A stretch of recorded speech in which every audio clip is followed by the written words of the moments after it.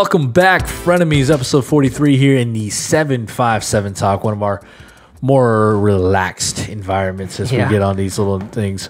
But this is for a local league here. And if you're not a local guy, we thank you even more for paying attention. Yeah. So what we got to talk about. But this week, man, a win is a win, is what we say around here. And some of the wins this week were very, very lucky and very, very ugly. Yeah, so the win is a win. That's for me. I'm still undefeated, in case anyone's wondering. I played Daniel this week, the worst team in the league. I predicted that I would lose. Yeah, you did? And I felt like I predicted well because I only scored 80 something points. My team took a poop. It was not good. Sammy Watkins made me have to rap. I don't know. You can listen to the main podcast if you want to hear me rap. I lost my bet to Chris. yes, he did. and uh, yeah, it was it was a rough week. Um, but unfortunately for me, uh, Tidewater Turtles just can't catch a break, and Yeah. he. Daniel's like, I'm not going to let you outdo me. I'm going to do worse than The, you. the big thing that, that did it for me was he had Dak Prescott, and I was watching that that Sunday night game, just like, can this continue? Can he be bad all game? He was bad all game. Dak Prescott is Yeah. really what saved me there. He just had, I think he ended with like He had under- one good drive and everything else is And then the last play of the game was an interception. I was freaking out. This, that's why I love fantasy football. Yeah. Nobody else cares about that last play that, you know, they were going to lose the game anyways unless somehow he caught it and ran for the touchdown, which was impossible. But Right. that going up, I was like, come on, interception, come on, interception, interception. And I ran around the house, you know, super excited. It was like, you know, same thing with my matchup with uh, the captain, Captain Morgan. another close game. You know, beating him by, what was that, like barely a point? Yeah, just- just over a point, yep. 1.4? Yep. Because of a last play there, Jared Goff thankfully fumbled. Yeah. And then it was returned by Suh there. So I was like, watched the beginning. I was like, man, I'm going to have this because my guy Godwin going in there. I was going to say, was getting touches. there's one person you need to thank here, Chris. The Chris rest of your team was pretty awful. Thank you, Chris Godwin, and, and uh, Todd Gurley showed up. That's true. And Mahomes had an average day. That was the hard part because he didn't have Yep. like any touchdown passes, but he he did not look like the Mahomes we all know. Even though he still had over 300 yards, just wasn't Mahomes esque. But I had a great little uh, voicemail, uh, voice message from from Morgan in, in Miami, telling him how he was like, I went, I was doing this thinking I'm gonna win, and then it- afterwards I go upstairs and I see the fumble and I lost. Yep. 1.4. That's how much I won there. Let's go over some of the weekly matchups here. Uh, David taking out Phil there, 102 to 98. Another close one. Yeah. Uh, very good matchup. A not so close one. The two new ads into our league this year that made it 12.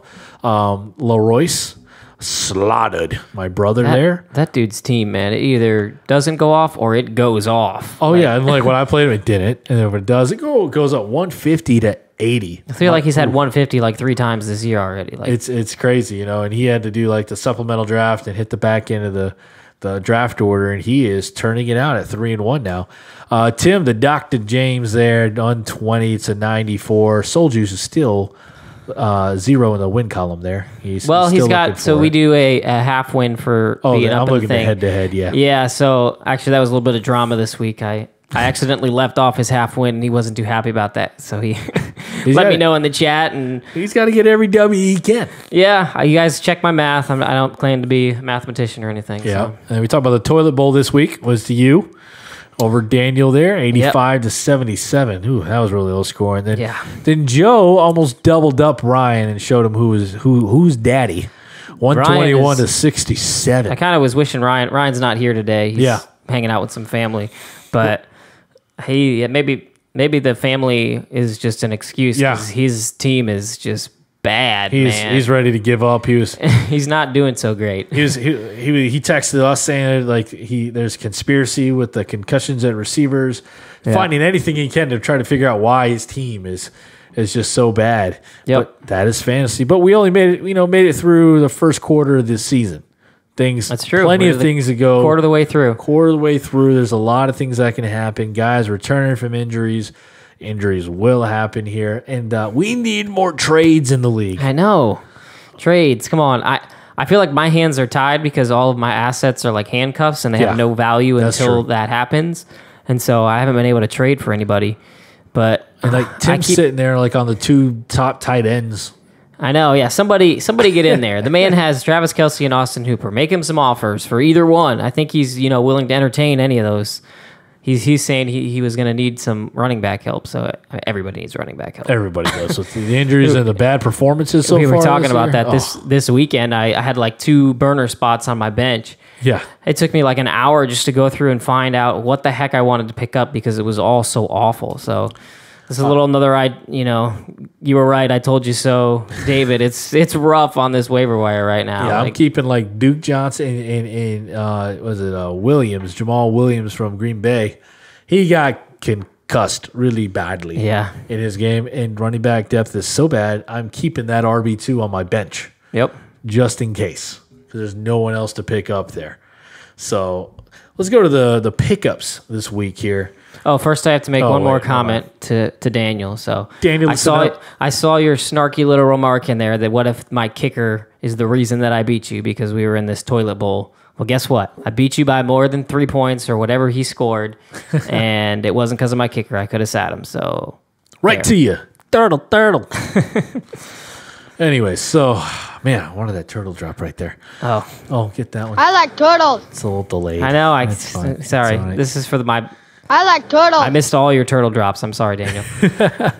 We're going to some waiver wire claims this week. We had ten claims right off the coming off the first initial waivers. It was a light a light week, I would say. It was. You know, I was the biggest spender. I put twenty five bucks on Geronimo Allison. I thought more people were going after him. Is just explain to the people how terrible that is when you put in a bid that you think I'm not sure if I should bid this much, and then not a single person. I, you know, ask Andy how that Ask feels because that was the worst one. But still, 25 bucks. I, pulled an Andy. I say, well, you're not feeling too too well after that. I was expecting like at least two other bids, and I was ex- I was looking for David. You thinking Adams is out? And I need another receiver. Me put Allison in there.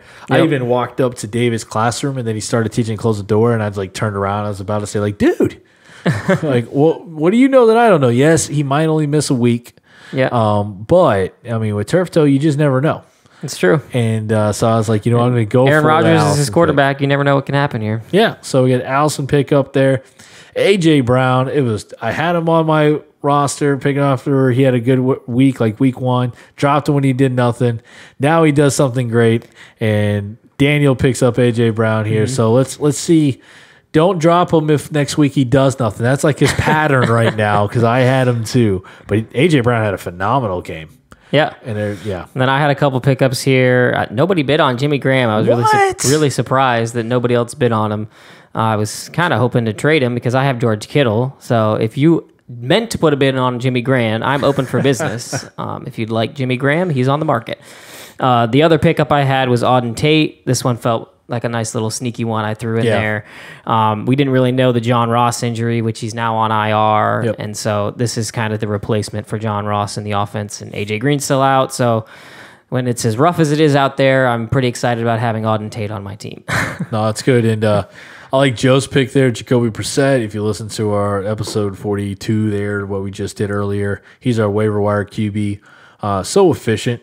yep. And so a safe pickup. Um, more than likely, uh, you know, I don't know if Joe will keep him past this week or something, but he's a good pickup there. So if if Jacoby goes back down on the waiver wires and you're on a bye week looking for a QB, Brissett's a great pickup. Uh, Phil picking up that Diontae Johnson for five dollars. Sneaky.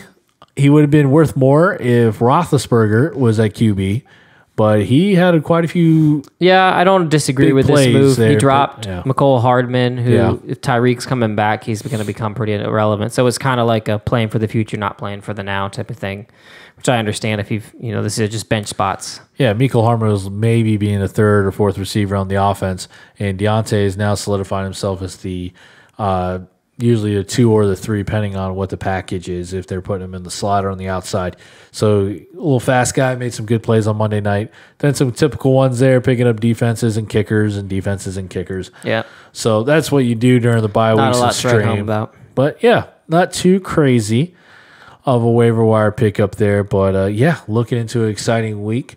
Uh, just to let you know, we are doing another bet. Me and Sean, I think we mentioned that earlier. Yeah, we're going to do a Geronimo Allison bet. I don't quite believe in him this week. And, And I believe obviously he put $25 on him. Twenty so dollars worth. I had to, I had to, had That's to how much- stand up for that one. So 25 points or less, I win, right? Oh, jeez. We'll have to discuss that more, but yes, sir. we'll throw it up on there so you guys can. Uh, Yeah, and by the way, since we're talking to our league here, what the heck with these these bet things? I mean, I'm not giving away my firstborn child through these bets. Yes. It's just fantasy football here. not People want us to shave one half- leg. Yeah, all this. What's this half shaving? You got one leg. Somebody wants to take an eyebrow off. I, I did agree to the beard, but yeah, I can't steal away Sean's beard. He's been he's been trying really hard for what he's Yeah, got right now. I don't know if my wife's gonna listen to this, but she won't let me grow this out during the summer. So the winter is my only time, and I really enjoy my beard. So I don't want to give it up. So No. call me selfish, but Yes. I want my beard, and it and it takes Chris like two weeks to grow that. It takes me like a month to grow this. So. It's Yeah. a little more hurtful to me, I think, than to you. And I, I trim it down all the time, so he does get thicker. But you know, I don't need to. If you see Mike's profile picture on his, uh, So I'm not banning you from there. giving us ideas for our bets, but can you keep them a little tamer here? I mean, we're just Yeah. making bench player uh, bets here. We're not going off on year long or anything. right, and I and I think Sean, I'm just gonna say it because we didn't talk about it earlier, but I think here in the next week or two, we're gonna start bringing you guys in studio Yes. for yeah. seven five seven talks, Hit just us, having fun. hit us up, league league Alert, alert! You can hit us up if you want to be on the show. I've got you know four mics now. We're all ready to go. Hit us up. I You'll know- be on both episodes that we recorded, the regular and the seven five seven talk. Just just give me a text and we'll get you on the show here. Dr. James, I'd love to have you back. Just, Yes. just a little shout out there. We, we missed Dr. James from last season. oh, shout out! We're recording in Phil Studios. Another five dollars. All right, well, that's pretty much all we have for you guys this week.